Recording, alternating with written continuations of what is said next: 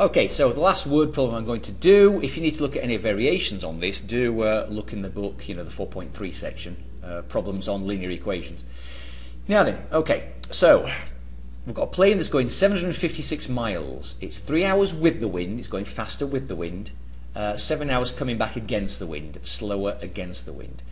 Now, what's the speed of the wind? So the speed of the wind is going to either be x or y. I'm going to call it y here, okay? So there we go. Plane speed is x and the wind speed is y. That's how we define it. Now, so um, if you think about this, um, if I do a little diagram, going that way, all right, it's going 756 miles.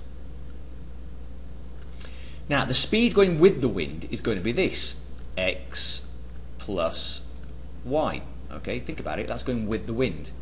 Um, okay, so if it's going against the wind, now don't forget. So with the wind, it's going. It's going to take three hours as well. So I'll write that next to it. Okay, three hours. So make sure I know that that's with that one. Okay. So that's with the wind going three hours. Against the wind. So we'd say that. Okay. So we're going to take off that uh, headwind. Okay, and that takes seven hours. Now, I've got kind of all the information I here just by reading the question and a little diagram.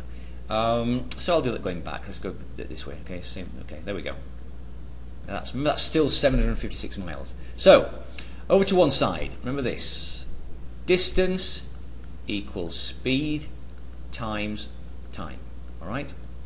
So, uh, what's the distance? Okay, I'm going to do two equations now. Over here, right. 756 is the distance. Now, the speed with the wind, we've just said, is x plus y. Okay, that's the speed with the wind, and the time with the wind is three hours. Okay. Now, remember, I've got an x and a y. I always need two equations to solve for two variables. The other one, 756, is still the same distance coming back against the wind, but this time its speed is x minus y and this time the time is seven hours. Okay, and that is pretty much it. There you go. Um, those are the two equations. Okay, distance equals speed times time with the wind and against the wind. So let's do some distributive law. Seven five six equals uh, that's going to be 3x plus 3y. Okay, just multiply through by the 3. So yeah, there's one equation and the other is 756 that's also distance. But this time with the distributive law and the 7 I've got 7x minus 7y okay? Right here we go. Here are my two equations that I'm going to use. Okay so um, now looking at that I'm going to do the elimination method. Uh, looks like y might be the, the good one to get rid of. Already one's plus and one's minus so it looks like I also need to get to 21. Can you see that? Think of lowest common multiples, okay? 3 and 7, 21. So I'm going to multiply this one by 7. So I'm going to have to get my calculator up. Uh, so let's start. Uh, so I just, you know, if you see anything popping up on the screen, uh, accessories, calculator. Right, okay, so uh, 7 times 756 equals, right, okay, I'll just minimize that. So, 5, 2, 9, 2 equals, and everything by 7 here is going to give me 21x and 21y. Okay, there we go. Okay, now then, the second one by 3. So this one's going to be by 3, isn't it? And just over here, this is the reason why I'm going to get negative 21y. Okay, okay, that's why I did it. Okay, negative 7 times 3. Okay, so there we go. That's how it's balancing. But let's do the rest. Uh, 3 times the x, that will give me to the 21x. Okay, as well. Equals, and again, I'm going to need my calculator for this, whatever 3 times 756 is. Let's clear that. 3 times 756 equals 2268. Right. 2 two, six, eight. Now then, here we go. When I add these together, the y's will go. That's why I did it. So I'm left with 42x.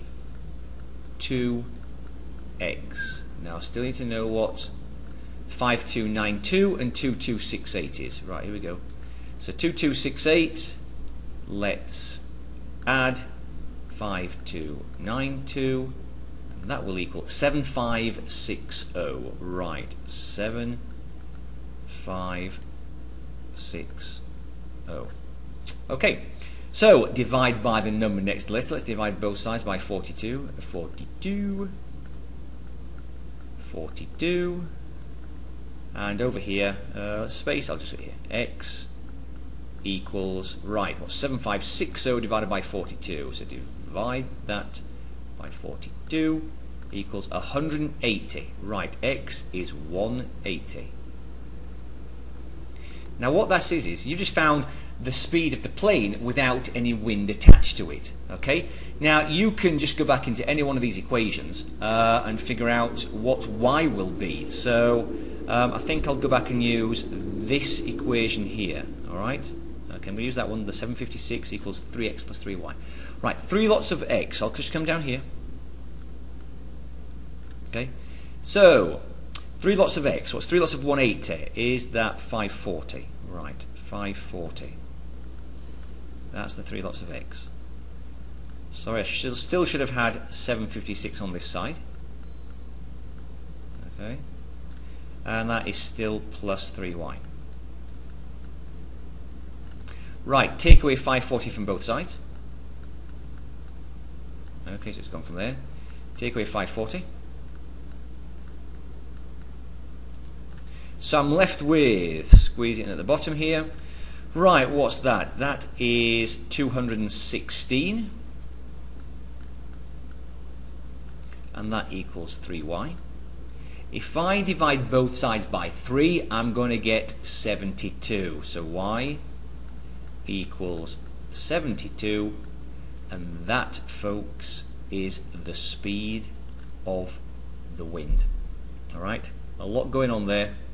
But again, think about the, step, the setup right here. Okay, right at the start here. A lot of credit for this. Just look at it.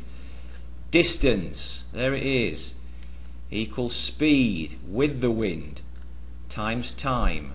And the one below is just the speed against the wind times time. Okay, adding the wind speed plus y, taking it off minus y, and the two times. Okay, think about that one.